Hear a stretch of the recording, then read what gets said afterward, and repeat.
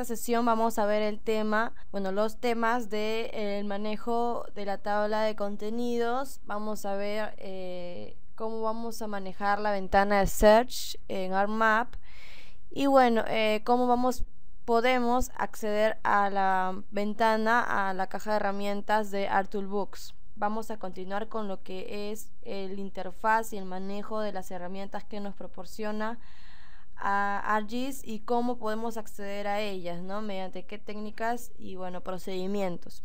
Tenemos que eh, empezar viendo el manejo de la tabla de contenidos. En nuestra tabla de contenidos nosotros vamos a poder tener todas nuestras capas con las que vamos a trabajar, ¿no? Eh, una capa puede ser un archivo que se pueda trabajar en ARMAP.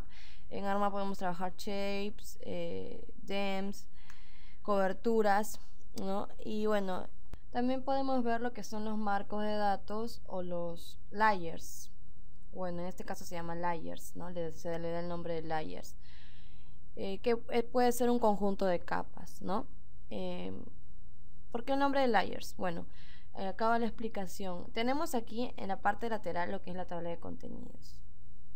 En mi tabla de contenidos yo voy a poder ver mis capas, ¿no es así? las capas representan una, em, una determinada fracción de la realidad. Las capas eh, son el nivel básico en ARMAP. Eh, es un conjunto de elementos geográficos, em, así como lo pueden ser eh, ríos, carreteras, lagos, em, ciudades, ¿no? departamentos, ya sean líneas, polígonos o, o puntos que me representen una parte de la realidad. Entonces, la superposición de, esta, de estas capas aquí en mi tabla de contenidos me va a generar una representación simplificada de la realidad en un mapa. En realidad, para los distintos programas o bueno, los distintos sistemas de información geográfica, la capa, que dije que es el nivel básico que se usa en la mayoría de sistemas de información geográfica, puede recibir distintos nombres, ¿no? Pero en el caso de ArcGIS, recibe el nombre de layer. Eh, muchas veces se pueden referir a capa, eh, layer, bueno, eh, significaría lo mismo para este programa. Pero, por ejemplo, si se, si se menciona shape, tal vez, o bueno, un dem puede ser también, o por ejemplo una cobertura que también es un tipo de archivo que se puede trabajar aquí en ARMAP, en ArcGIS. Em, en realidad eh, nos estamos refiriendo al tipo de archivo que es, ¿no? Se puede mencionar, por ejemplo, eh, un río que es un shape, es un, es un tipo de, mm, de formato que se trabaja en, en ArcGIS. Puedo referirme, puedo referirme a esta capa como el shape, eh, también como la capa o como el layer, ¿no? Se significaría lo mismo. Pero ya al referirme shape, queda claro que nos estamos refiriendo al tipo de archivo que es. Eh, trabajamos con capas aquí en la tabla de contenidos o lo que son los layers. Bueno, entonces tenemos aquí ese símbolo de capas superpuestas como pueden observar con el nombre de layers. Esto es lo que es el marco de datos o la data frame. En la data frame agrupa un conjunto de capas o layers, por eso es que tiene el nombre de layers. ¿No? Eh, comúnmente se utiliza para organizar la información en la tabla de contenidos. Por ejemplo, tenemos un conjunto de, capas de un mismo lugar, de una misma zona, supongamos eh, departamento de Lima, y queremos agruparlo en, un, data frame, en un marco de datos, entonces lo agruparíamos aquí. ¿no? Eh, si queremos trabajar en el mismo mapa de otro lugar, por ejemplo, eh, ¿no? Eh, que podríamos crear otra data, frame para ese departamento, ¿no? Es más que todo para organizar información en la tabla de contenidos, como lo he dicho. Entonces, em, en la tabla de contenidos tenemos eh, distintas maneras de visualizar.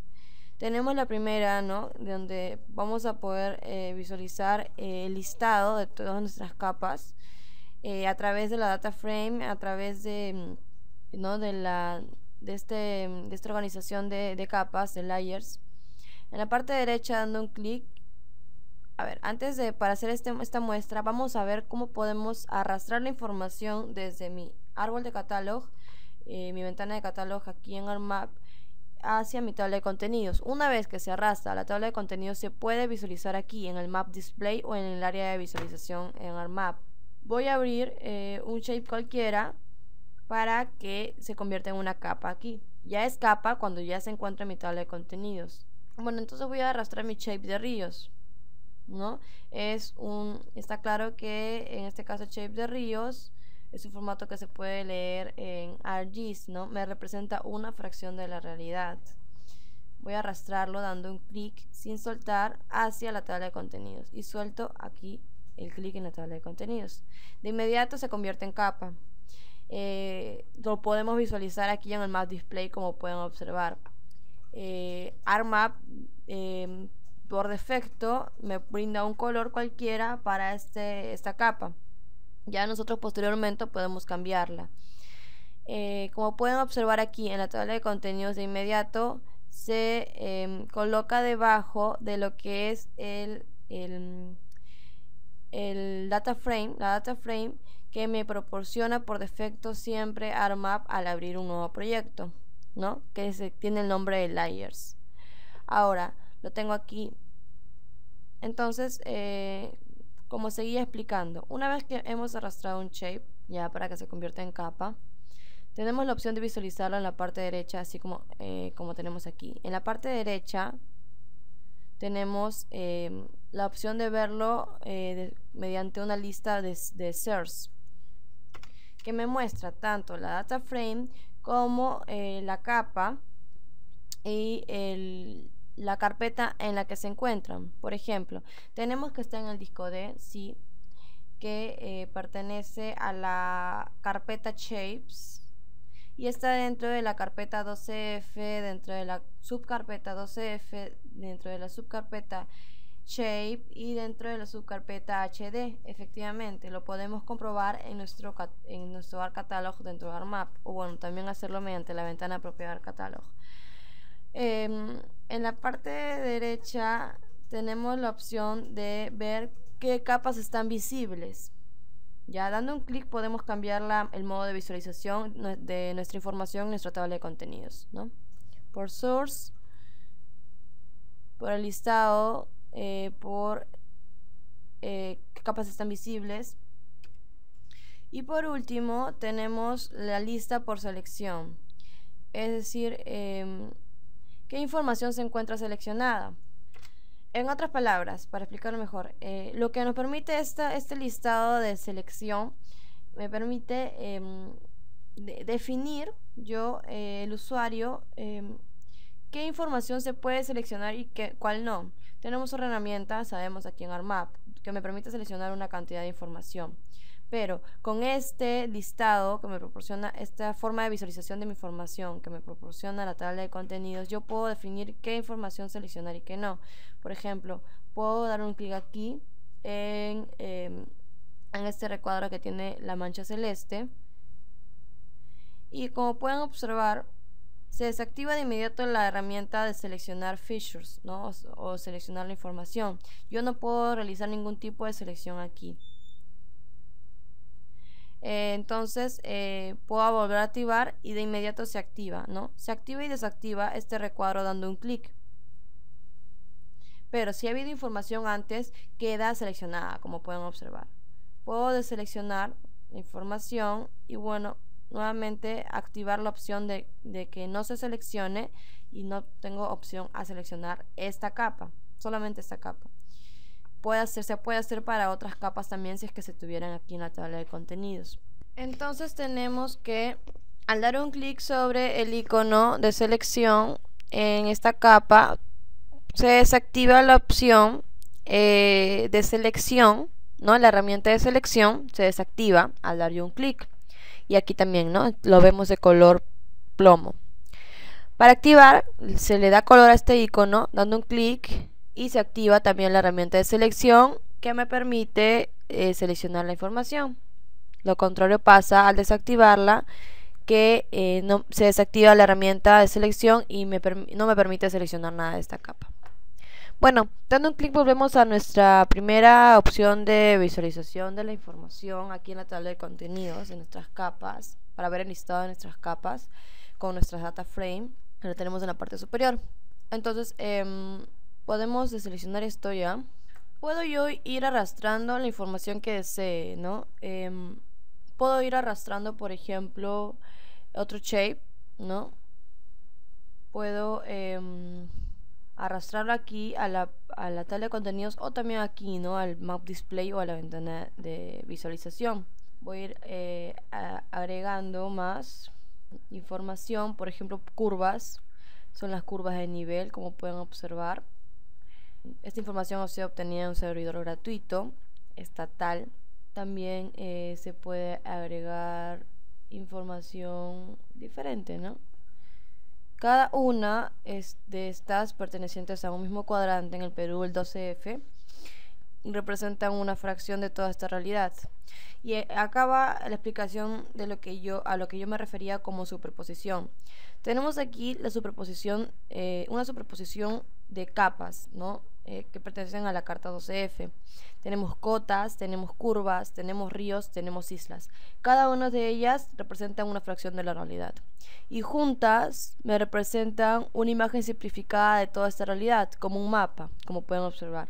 Juntas y superpuestas, ¿no? Una por encima de otra en un orden de visualización de arriba a abajo. ¿Qué quiere decir esto? Que la capa que se encuentra superior va a ser la que se va a ver superpuesta también aquí eh, en el área de visualización. Se va a ver superpuesta por encima de todas, como pueden observar cotas. El símbolo lo tenemos abajo. El símbolo es de un punto color verde, ¿no? En la parte de abajo también tenemos la línea que del shape curvas eh, es una línea marrón, ¿no? Eh, del Shape Ríos, en la parte de abajo también tenemos su símbolo que es una línea de color em, rojo. Eh, en color, en, perdón, en el Shape 12F de islas tenemos aquí un rectángulo que me representa eh, la simbología, ¿no? Que es de color celeste. Ahora, ¿qué pasa? Aquí en la lista de visibilidad está la opción, por ejemplo, de ver o no la simbología, ¿no? Podemos quitarla con la flecha hacia, em, hacia arriba que tenemos aquí dando un clic y se quita la simbología. Aquí también podemos hacerlo, aquí también y aquí también dando un clic. Me quedarían los nombres nada más. Para nuevamente ver la simbología, eh, presiono nuevamente la flecha hacia abajo y me aparece la simbología. Lo mismo para las demás capas. Bueno, aquí también podemos activar o desactivar la selección, como pueden observar dando un clic en el icono. Bueno, y también, ¿no? Eh, lo que se quería mostrar aquí. Voy a volver a mi listado, al principal.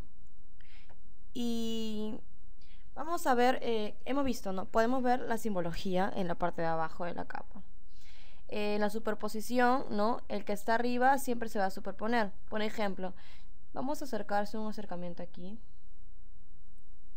Tenemos que los polígonos de color celeste son las islas. Eh, los ríos me representan estas líneas de color rojo y bueno, las, las curvas, este color medio eh, beige y los puntos, las cotas. Tenemos las cotas por encima, ¿no? Y se puede visualizar mejor cuando se encuentra por encima de uno de los elementos geográficos, eh, ¿no? En el mismo lugar, ¿no? En el mismo lugar y ahí se puede visualizar mejor si está cuál está encima y cuál está por debajo, superpuesto. Y el que está debajo. Eh, si yo doy un clic aquí y sin soltar arrastro la capa hacia abajo de todas las capas, em, ¿qué es lo que pasa? Desaparece. ¿Por qué? No quiere decir que se borró. Lo que significa es que se encuentra por debajo. ¿Cómo podemos darnos cuenta? Desactivando, ¿no? En, tabla, en la tabla de contenidos tenemos la opción de desactivar o activar las capas. Lo que quiere decir que se va a poder eh, visualizar o no aquí en la tabla de contenidos. Ahorita todas se encuentran activadas, tienen un check dentro de la casilla en la parte izquierda del nombre de la capa. Pero ¿qué pasa si yo doy un clic dentro de esta casilla? Lo que pasa es que se desactiva. No se elimina, no se borra, se desactiva, es decir, no la podemos visualizar, ¿no? Y bueno, se puede utilizar para, bueno, tratar mejor la información, ¿no? Eh, que yo quiero ver ahora, que no quiero ver, que quiero verlo después. Entonces, eh, lo puedo desactivar o no, si deseo. Ven, como pueden observar, se desactivó la capa de islas, ¿no? Que era el polígono celeste. Entonces, efectivamente, debajo se encuentra la capa cotas. ¿No es así? Ahora, puedo eh, superponer, por ejemplo,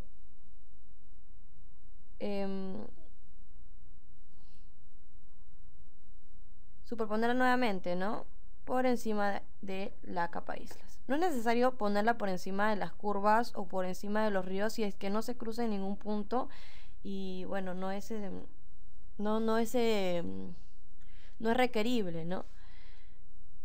En el caso de que un punto esté por aquí, por ejemplo, exactamente en el mismo lugar por donde pasa una curva y yo quiero que el punto se visualice por encima, entonces en este caso sí tendría que arrastrar mi capa cotas por encima de la capa curvas. Entonces, a eso se iba, ¿no? Cuando me refería a la superposición de capas, ¿no? Me van a representar todo un conjunto simplificado de lo que es la realidad a través de este mapa, ¿no? Que es un conjunto de las mis capas superpuestas, hablando en términos de, del programa de ARMAP, de layers superpuestos, ¿no? Cada uno de ellos eh, pueden estar dentro, como ya vuelvo a repetir, dentro de data frame. Y al desactivarlas o desactivarlas, voy a desactivar una, en este caso va a ser islas. Eh, puedo ir al modo de visualización por visualización. Y aquí está, ¿no? ¿Qué capas están activadas y qué no? En la parte visible se encuentran las tres capas que tengo activadas, las que están con shake. Puedo volver dando un clic. Doy un clic nuevamente a mi lista de visualización y en la parte de no visibles tengo la capa que yo desactivé, es decir, a la que le quité el check dentro de la casilla que se encuentra en la parte izquierda de su nombre. Entonces aquí está, que es islas. Bueno, entonces puedo volverla a activar y al volver a la lista de visualización, pues se vuelve a activar como pueden observar. Bueno, también lo que podemos hacer es en la parte izquierda, como pueden observar, eh, podemos reducir la información dentro del data frame dando un clic ¿no? No, lo que quiere decir que no desaparece, sino que, bueno, para em, mejorar el modo de visualización aquí en la tabla de contenidos, reducimos información, porque podemos tener muchas data frames, muchas capas, tal vez, si queremos que se vean mejor las que están en la parte de abajo, podemos reducirlos, ¿no? También para cada, eh, para cada capa tienes la opción también de reducir em, lo que es la leyenda de la capa, es la información dentro, ¿no? En este caso la simbología. Por ejemplo, hay capas también que tienen mucha información contenida, como pueden, por ejemplo, aquí tengo una capa yo, em, la cual tiene mucha información. ¿No? Luego se va a enseñar el procedimiento. Tenemos aquí. Entonces, eh, tiene toda una, una leyenda dentro de esta capa.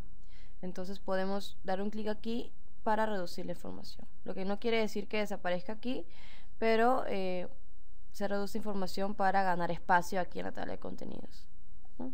Y poder ver mejor la, información que tengo abajo, porque es importante saber qué capa está superpuesta y qué capa no. Bueno, entonces como pueden ver se demora en cargar la información porque es información pesada. Va a pasar esto muchas veces en el caso de ARMA. Y puedo superponer, por ejemplo, esta capa que es una capa de ecosistemas andinos, ¿no? También es descargada en servidor gratuito. Si yo la superpongo, ¿qué pasa? Lo que pasa aquí es que se superpone toda la información por encima de la información que yo tengo abajo y desaparece totalmente. O sea, no quiere decir que se borra, pero no se puede visualizar aquí en, mi map display, porque está por encima. Puedo superponer cotas arrastrando y si se podría visualizar cotas. Puedo superponer curvas y se, eh, puedo visualizar las curvas. ¿no es así? Supongo cotas porque quiero que esté por encima de curvas, pero los dos que estén por encima de la capa de ecosistemas andinos y así es el resultado. Entonces se puede jugar con esta superposición de capas para tener un mejor resultado de nuestro mapa, ¿no? En nuestra tabla de contenidos también podemos dar un clic derecho sobre la capa y tener la opción de copiarla, de removerla dando un clic y se elimina inmediatamente como capa, ¿no? Más no como un archivo, ¿no? De ARMAP que se encuentra en ArCatálogo. Podemos volver tal vez em, y volver a abrirlo. Volver a arrastrarlo hasta la tabla de contenidos y volver a abrirlo. Y volver a eliminarlo cuantas veces se desee, dando un clic derecho y remover. Tal vez es información que no nos sirve en este mapa. Entonces podemos hacer lo mismo con cualquiera de ellos. De las capas que yo tenga en mi tabla de contenidos. Tengo la opción de ver la tabla de atributos. Que es una tabla conformada por columnas y filas que me ofrece información. Que también se va a ver en los temas posteriores. Le voy a dar un clic, me ofrece información acerca de la capa que estamos viendo. En Zoom to Layer Zoom to Layer me permite acercar y que se centre la capa que yo estoy escogiendo en mi área de visualización. Por ejemplo, supongamos que nos perdimos en el mapa. Aquí estamos por otro lugar. Y queremos volver a la parte donde se encuentra el shape de cotas. Dando un clic derecho, voy a eh, doy un clic aquí en Zoom to Layer. Y de inmediato el área de visualización me da una vista em, general de la información dentro de la capa de cotas todo dentro. Si yo pido, por ejemplo, esta es una capa, esta es una capa del Perú en general, es em, una capa de los sistemas andinos. Por ejemplo, si yo doy un clic aquí, un clic derecho y le doy en Zoom to Layer, lo que me va a aparecer es toda la capa, ¿no? Toda la información que contiene la capa. Entonces me saldría toda la información del Perú, en este caso.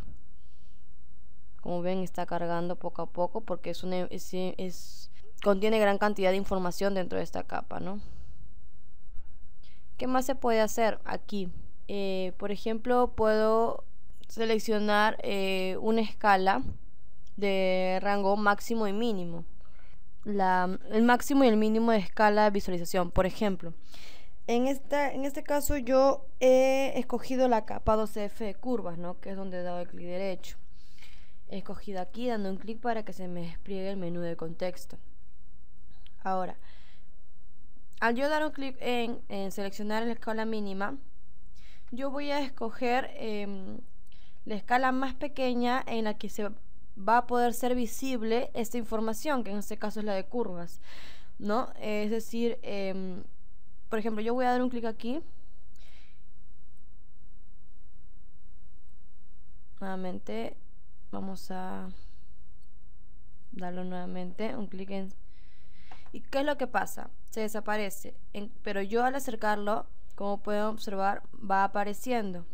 ¿No es así? Yo voy alejando.